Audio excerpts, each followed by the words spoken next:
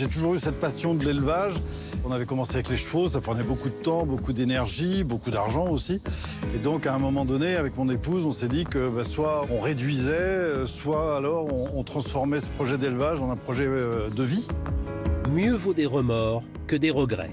Après une carrière dans l'industrie pharmaceutique à Lyon, Philippe a laissé derrière lui une vie professionnelle trépidante pour le calme de la campagne bressane. À 65 printemps, il est aujourd'hui éleveur de chevaux de course. Allez, trotter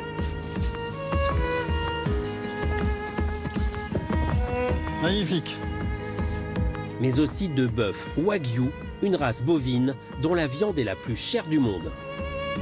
C'est un animal exceptionnel, c'est une race exceptionnelle, c'est une viande exceptionnelle.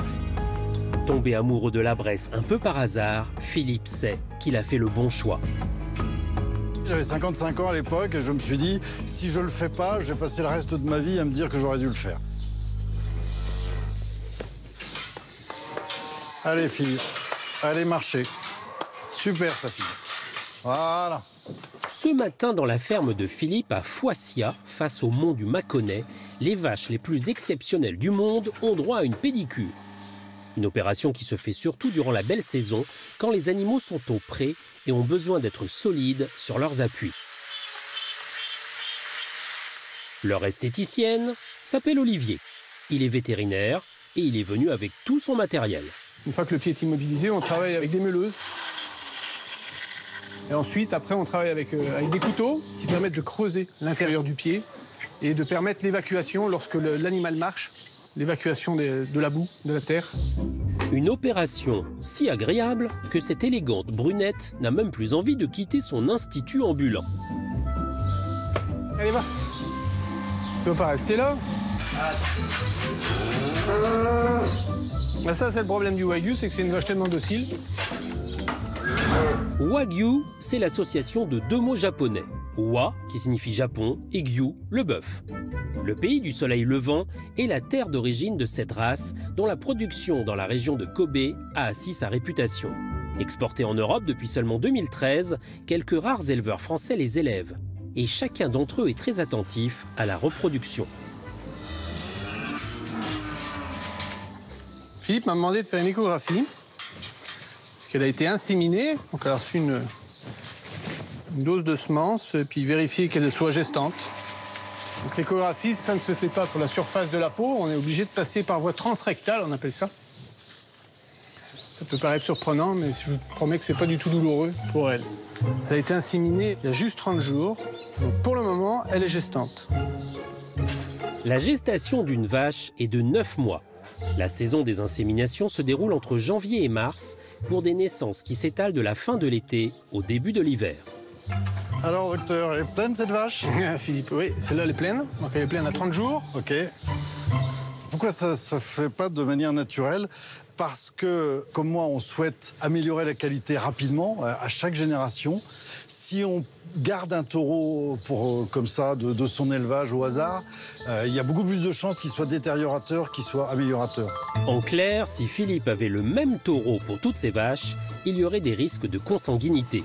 En utilisant des semences d'animaux différents, il prend toutes les garanties. Allez, on y va, gentiment, gentiment. Toutes ces connaissances, Philippe les a acquises sur le tard en changeant de vie.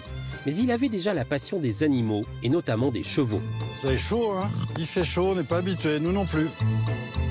C'est quand même un métier très difficile, hein, c'est 365 jours sur 365.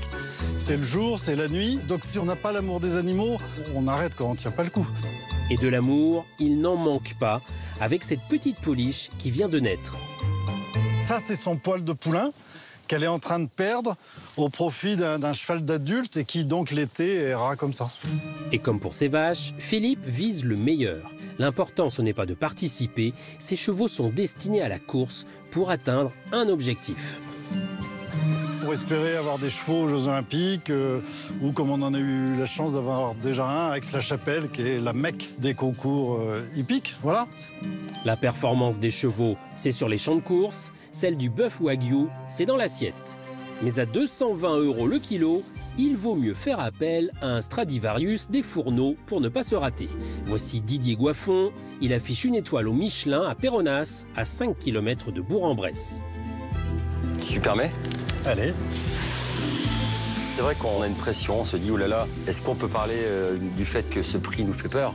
Bien sûr. Alors qu'en fait, la viande est d'une qualité incroyable. Et je dirais que c'est plus difficile de louper du wagyu qu'un bœuf lambda, simplement parce que le gras va nous aider.